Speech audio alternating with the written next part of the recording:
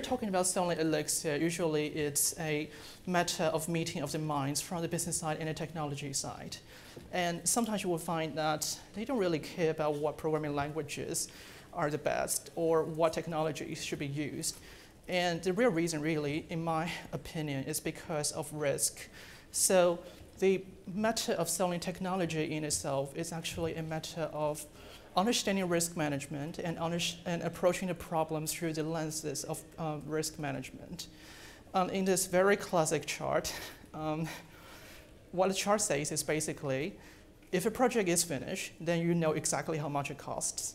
If a project hasn't started, then the possibility of it going under or over budget is uh, very high. And as you progress through, through the time and get to more details, get to, more, uh, get to a further phase of implementation, the risk shrinks. So, so what you really want to do when you're selling a new technology is to try to reduce the size of the cone early in the process so as to make it more palatable to the business to get them to say, okay, we can do it and there are multiple ways to do it. So again, you will want to look at risk and value because depending on how large your project is, maybe it's one week or two weeks, or maybe it's one year, two years, the uh, actual potential value, i.e., how much money we expect to make, how much money we expect to save, is entirely different based on the uh, potential value. So when you're specifying a project, let's say uh, you have a site that has to go out two weeks later, and nobody knows Elixir, then in this case, you will probably not be able to sell Elixir because, because you will have to take more than two weeks to learn Elixir and you will go over the time allowed. So in that case, the potential value isn't really very high in doing that. So in execution, um, what you have to do is to reduce the value at risk. And by value at risk, uh, there are several uh, examples. For example, um, we know that we know Rails very well, so we have fixed like uh, we have fixed like character encoding issues in the database connection and whatever and whatever. So these things are basically the last 10, uh, last 90% after you have finished 90% of the work, and more understanding of the technology can reduce value at risk uh, during uh, during implementation. So lastly, there is the maintenance phase where um, sometimes people will tell you we don't want to use a stack which is obscure or less famous because we won't be able to hire people to maintain it. So what you can really say to these people is that if we have specified and built a project correctly, then you won't need to firefight. And even if you need to add a new feature, you could take your time and learn how the code is written. And so the, uh, the difficulties in hiring really wouldn't be that severe. Anyway, so to carry on to the next topic, there is a topics of complexity. Uh, I come from a software as a service business where usually there's an adage or saying that uh, the more features you have, the more customers you will get. But does more features mean more complexity? The answer is probably yes, probably no. It depends on how you have organized your application. And that is really another point of why Elixir could be a good sell, because if you have a good tool to manage complexity without actually uh, having to write additional lines of code or to do duplic uh, duplicative work, then what you really have is leverage. So in this case, leverage can be thought of as a multiplier. You put in time, you spend resources, you get results. With good technology, uh, if you get better leverage through good technology, then several things can happen. One, you can ship faster, or two, you can ship more, or three, if the entire premise of the project was wrong, i.e., it's not possible to do it, then you can find out quicker, saving time, therefore reducing value at risk by committing less. Okay, so that's the precept of this talk. Now the background. So as I said, I come from a SaaS provider. We work in international education business, has been there since 2007. Um, the goal of the company is to support transition from paper because if you imagine an average admissions office and, and an average high school in, in the middle of the USA, uh, every year there will be a period where they're drawing in paper. Everybody sends in an application parcel from all over the world. People have to pay for postage and so on and so on. They're drawing in paper. So the goal of this company really is to support transition from paper and to do everything online. And also do it without ever, ever asking the customers to talk with an IVR system. So you call somebody and somebody answers and that person is knowledgeable. That's basically the premise. And the team I work from is an UK branch for managed services. Um, So the definition of managed services, at least as I understand it, is that we build certain things for certain clients that are important, and we manage the operations of these applications for them. So they pay us, they get a service, and they use the service. That's basically it. And sometimes we do also spec writing. So uh, to have arrived at the precepts, we actually had two contexts, first and second context of OTP. And I'll tell you a little bit about, about these two contexts. The first context, of course, is driven by the business. Basically, we had a lot of applications and they kind of work with each other. And one day we decided, hey, if we have, if we become an integrator and integrate with other applications, then we could expand our customer lifetime value because then customers will pay us for anything else that we upsell. But the downside for, uh, for becoming an integrator is that you now have to integrate. And anybody who has integrated multiple systems written by multiple teams in different time zones in different countries would understand how much of an undertaking it actually is. So anyway, one day we wrote a message broker in Ruby, which is a classic message bus architecture. And that really opened the door to OTP. So as to say, because we found certain niggling problems with the Ruby implementation. For example, um, lifecycle management is not uh, isn't solid. We had to write custom code, and we had to do work sharding in a custom uh, in a custom way. And in addition, we have a lot of error handlers everywhere to handle issues that would have been fixed by restarting. So, well, when you hear that, you would think, okay, OTP does it properly, doesn't it? Yes, OTP does it properly. Because we were very annoyed by it, and we wrote two prototypes to try and see if there are ways around it uh, to find a better solution. So we wrote two.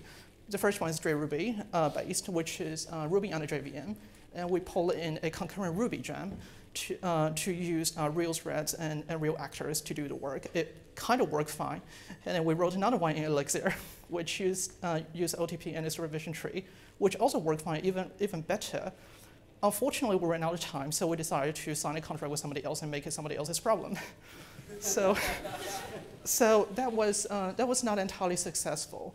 However, we still did a postmortem. So in a postmortem, we found out that we wouldn't be able to actually do it in Ruby anyway because the performance bracket would be out of, out of reach of what we wanted. And in addition, this was not an issue that could have been fixed by having more, having more servers because what you can do with multiple servers is how you can handle additional workload, but you can't really shrink the amount of time or amount of resources each workload actually requires. So so it was basically going to be dead in the water anyway. So that was what, what we learned. And we also found out about the ecosystems of uh, around the JVM, around the beam, res uh, respectively.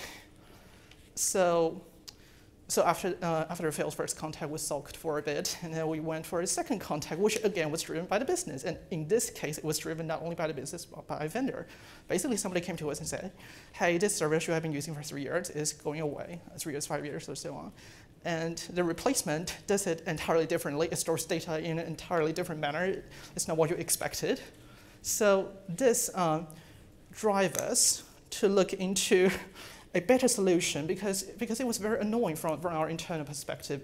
Our VP was furious and started thinking about, okay, we need to get out of, out of it. We don't want to reward this vendor for, for uh, taking a rug uh, uh, under our feet. We want to make a buy versus build decision. This is when the second context comes in because uh, we went out to the vendors and we asked them, what can you do? So one, one, one vendor told us, yeah, give us $100,000, we'll, we'll try. And the second vendor told us, yeah, we can try to do it, but you gotta sign a contract first, and you don't get a trial before you sign a contract, which means that there is no trial. Or they offer a trial, but the trial is broken. And all sorts of issues uh, cropped up it was quite an adventure, and not only an adventure in technical terms, but also an adventure in terms of culture. Because, as I said before, uh, the company I work for has a philosophy which is if you want to try our software, go to this URL. The URL points to an application which resets every two hours. So you can do anything. Every single function is available. And you don't even have to call us. If you like it, then call us. So this is entirely different from, from what we have seen. And and that was, that was terrible. And we also realized that if we have to do these pilot projects and, and so on, then basically we will have spent a lot of money, and that money could have been used to actually internally build a prototype if we could. Basically, money is to be spent anyway, so why don't we spend it internally? So we look at several options. We can do SaaS, we can do COTS or commercial off the shelf, or we can do custom build. So this uh, is basically a cloud forming in the VPE's head. And one day we came to mutual realizations. There are two. So one is, even if we buy something, we have to put it into our application and we have to integrate it. And if we, if we found something that was missed during feasibility studies, we'll have to try to fix it. And if we don't have the source code, we cannot fix it. We have to, we have to ask other people to fix it. And as a provider of services, we know that when customers tell us to do something, we don't always do it because, because it might not be worth our while. And this same situation can also occur um, to us when we ask our vendors to do something. So, so we decided that, okay, let's do a custom thing.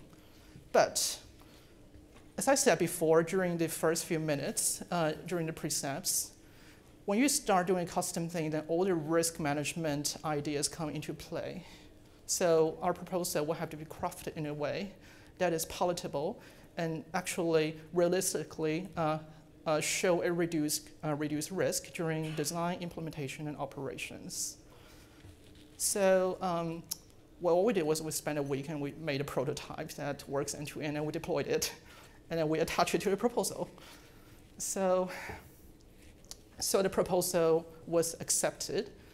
And that was the story of our second contact with OTP, which was successful. Um, now I want to take a few minutes to talk about what we have learned on transition into OTP. This is going to be brief because multiple teams have done this transition before already. So um, basically four major components, Rails Assets Pipeline, Action Cable, and Active Record. Uh, we like all of, the, uh, all of the available options currently available uh, on the Beam. So especially for the Assets Pipeline, um, the improvement in uh, compiling assets is very remarkable. So another thing is that there are several tasks that may, uh, may be done or may not be done by third-party libraries. We have cases where we have to make something else, and well, I don't want to run an ImageMagick process out of processor, and I don't want to run the FFI inside a Beam, so we had to do a C program and customize it, but we managed to do it, and then we managed to open source it. So um, basically, difficult things are possible, easy things are easy in, in Beam land. Okay, so now, closing thoughts. I'll spend a few minutes here as well. Again, uh, from the stories, you can see that most of the problems you may face uh, in selling a project, a technology, and so on can be viewed through different lenses. And there are four lenses I would like to talk about. The first one is the nature of the problem, whether it's a wicked problem or a normal problem. And by a wicked problem, um, well, it's more of a non-technology uh, term, but in technology, you can think of a wicked problem as a problem that nobody knows a precise solution to. In order to find out the solution to a wicked problem, you have to have multiple tries, and each try may get you closer or further away. So wicked problems are like, okay, the customer wants this thing, but they cannot articulate, and so on and so on. These are wicked problems. If a problem is wicked, then you have to make sure you plan for iterations and you gradually transform the wicked parts into righteous parts that are easily definable and have easy answers. Um, the second thing is the organization of your team, whether your team is large and require a, uh, basically whether you want to keep a large team or, or keep a small team. Because, well, as you know, when you add more people to your team, the uh, communication overhead goes up. So in certain cases, the solution is if you have multiple teams that don't, don't talk together and then make each team make a microservice. But um, you may want to look into different options other than, uh, other than having discrete code bases and discrete teams. And lastly, there's one thing, one more thing which can be used uh, when you're trying to sell, which is a mode of control. This is another old idea. There are three different kinds of modes of controls. Um, free market forces, contractual obligations, or cultural values, and I'll explain them. Basically, uh, this is a two by two. Uh, horizontally, you have CUA factor as in complexity, uncertainty, and ambiguity. So Uh, vertically, you have whether people are more self-interested or more group-oriented. And these are basically, basically the classic uh, archetypes of workplaces, if you could say so. So contractual obligations mean do this or you are fired. And usually it will work if you know precisely what is to be done. If you have written an interface and want an implementation, then you can do that. And if people are over themselves, and this is free market forces, but usually you will find yourself and your team probably in high CUA, which, uh, which means that you're in a startup and things change every day. Uh, it's always in flux. And in these cases, the only solution that works will be to impose cultural values, i.e. a set of guidelines that people share. So you may want to think about it. In conclusion, um, in conclusion, in selling Elixir, uh, concretely, you may have several objections coming your way, and I'll call these things perceptions. So, for example, you can have you can somebody object and say the perception is that this is uh, this is new technology, this is unproven, but in reality, what they're probably thinking is that there is an implementation risk. We may not be able to finish the project, and so what you can do to address this uh, niggling problem is by having an early end-to-end prototype. Having a prototype which is working proves that the technology is feasible.